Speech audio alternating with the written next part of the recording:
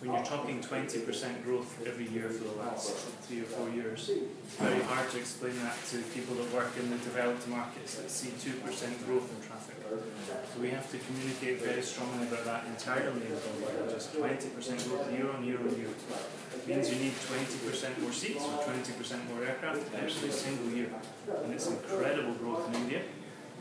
And I think one of the wonderful things is, is uh, Prime Minister Modi's uh, regional connectivity scheme.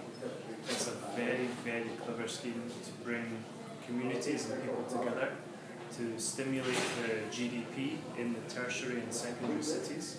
We see that as a very clever move, and uh, we see it not only having social impacts, as I say, bringing families and communities closer together with direct flights, but it's also very good for GDP.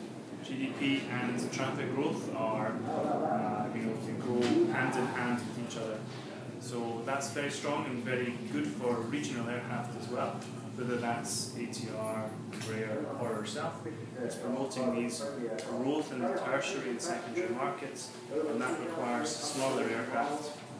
And the one thing we have to say about uh, India is really the, the disposable income is growing very fast but we also find that the people are very, the passengers are very sensitive to yields.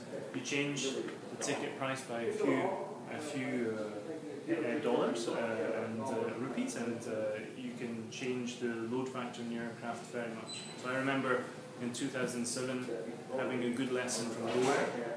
They were telling me if they change the, uh, the ticket price by 40 to 50 rupees, they lose 10 to 12 percent of their load of passengers. So that's when I understand, wow, this is a market that's really sensitive. Extremely price sensitive. Extremely price sensitive.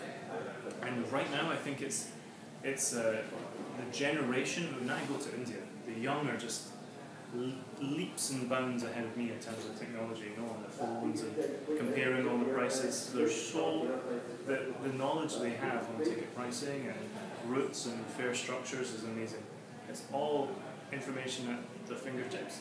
And so that means that you have to drive down the cost per seat. You have to have the lowest cost per seat to attract um, your, or keep ticket prices low and attract as many passengers as possible.